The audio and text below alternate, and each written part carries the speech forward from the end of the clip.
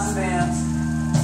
I've been blessed to play with amazing musicians and dear friends, people that I have carried with me throughout my life, people that I adore. These guys on this stage, their dedication, their commitment to not just me and this band, but to music and the fucking mission of playing every day